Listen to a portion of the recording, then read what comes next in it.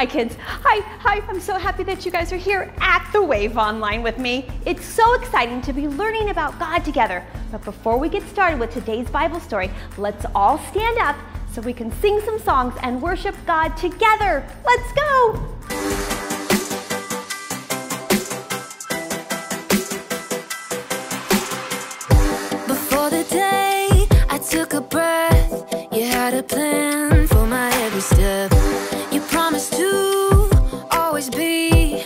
By my side. I believe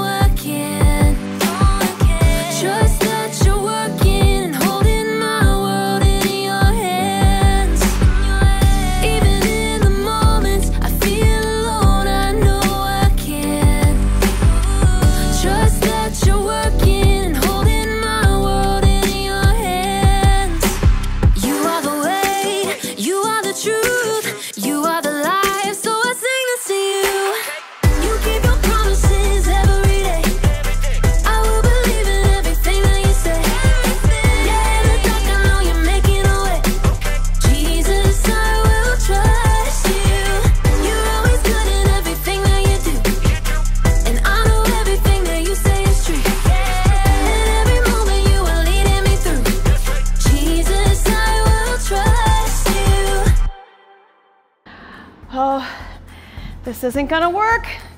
I'm gonna do really bad today. Oh my goodness, I'm gonna forget what I have to say.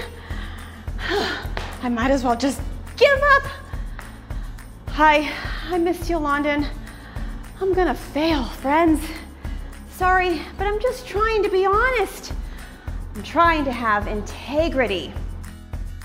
Integrity is choosing to be truthful in whatever you say and do. And our memory verse for this month, it explains it so well. Can you say it with me? Okay, here we go. We find it in Proverbs 10:9. Anyone who lives without blame walks safely, but anyone who takes a crooked path will get caught. So let's learn this with some hand motions. So this is anyone who lives without blame, walk safely. Hey friends, hey friends. But anyone who takes a crooked path will get caught. You ready? Anyone who lives without blame walks safely. Hey friends. But anyone who takes a crooked path will get caught. Proverbs 10:9. The truth is that speech that I have to give today is gonna go badly, my friends. I'm supposed to talk to a bunch of strangers about different kinds of masks. But every time I give a speech, I get so nervous that everything I want to say just comes out all wrong. I don't know if this happens to you, but I keep hearing these voices in my head. You're not very good at talking to people. When you tell jokes, they're stinky. Other people are way better than you. The more I listen to these voices, the more I believe them. So it's probably better if I just don't even do the speech today. Can't mess it up if I don't try, right? Well, you won't be embarrassed. Good point, teddy bear voice. So, in today's story, we're learning about how to control what we think. Hmm, like that would be helpful. Wait, would that be helpful? Let's watch. The Bible. It's 66 books of history, stories, letters, and poetry that fit together to form God's one big story. The epic adventure of how He created us and loves us so much that He made a way to rescue us. As we travel through the Bible, from Genesis to Revelation, we discover people who met God and found their lives changed forever. Now, for an amazing story. Inspired by the book of Philippians, chapter 4, verse 8. Horatio liked to keep track of things in his head. Five kinds of cereal in the cabinet. 17 braids on his sister Nala's head. Two voicemail messages left on his parents' landline phone. Ah, seriously, Mom? You are so stuck in the 1990s. Horatio was especially good at keeping track of things that went wrong. Number one, we're out of chocolate frosted sugar bomb cereal. Horatio's mother did not always appreciate his lists. I did not buy that. Your dad bought that. Number two, it is freezing in here. Put on a sweater. Number three, Miss Watson is making us do a group project and they are the worst because everyone else drags me down. Horatio, can you please focus on something positive for once? Just keeping it real. Oh, oh, I know about positive stuff. Miss Christie told us. Horatio's little sister Nala began rummaging around in the stacks of random paper on the counter. There is nothing positive about this morning, and I'm positive about that. Nala pulled out a scribbled on handout and waved it triumphantly. Philippians 4 8. Do not read me a coloring sheet. Finally, my brothers and sisters, always think about what is true. Think about what is noble, right, and pure. Mom, make her stop bugging me. No, this is good. Think about what is lovely and worthy of respect. If anything is excellent or worthy of praise, think about those kinds of things. Horatio just glared and checked out the lunch that Mom had packed. Is this strawberry jam in my sandwich? You know I only eat apricot jam. Over the next two hours, Horatio counted dozens of annoying things. Number one, this bus stinks like dirty socks stuffed with Cheetos. Number two, the classroom door needs some WD 40. Number three, Miss Watson is wearing yellow, and I hate yellow. Number four, this pencil is making a giant callus on my finger. Number five, group projects are still the worst. Number six, it's way too hot over here. And to make matters worse, Miss Watson had put Tish James in charge of the group. Ugh. So, we get to do a report on Cape Hatteras Lighthouse. I'll write the history, and Jordan, you can paint a picture, and Horatio, you research stuff about the land and animals around it. Number seven, Tish is super bossy. Oh, and here's a picture of the lighthouse. Tish held up a glossy photograph, and Horatio opened his mouth, ready to complain about how boring lighthouses were. But he couldn't do it. Hatteras Lighthouse, spiraling into the sunset sky, was breathtaking. He could picture uh, walking the beach and waves crashing as the warm light glowed overhead. Ah. And Horatio couldn't help hearing an echo of his little sister's voice. Think about what is lovely and worthy of respect. There it was, right in front of his face. Horatio found brand new thoughts forming in his brain. Hey, that looks really cool. That's amazing. It was as if a switch had flipped in Horatio's head. After seeing one good thing, he started to see more. Jordan had brought in some paintings he had done. Number one, Jordan, you are a really great artist. Miss Watson helped Horatio solve some tough fractions by drawing a funny sketch. Number two, Miss Watson is a super creative teacher. Mom had packed homemade cookies in Horatio's lunch. Number three, my mom makes the best chocolate chip cookies on the planet. Who wants to share? By the time Horatio got off the school bus, Number four, Mr. Rob drove us right up to our house because of the rain. he was actually smiling. Mom met them at the door. Hey kids, how was school? At that moment, Nala shook out her wet umbrella all over Horatio. And for a moment, Horatio frowned. Nala braced herself. Uh, sorry.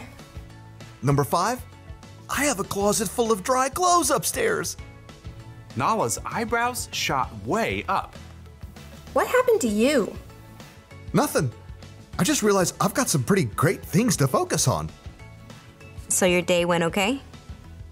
Number six, it was positively awesome. Horatio beamed and ran upstairs to change his wet shirt. He had a lot of brand new lists to make up in his head.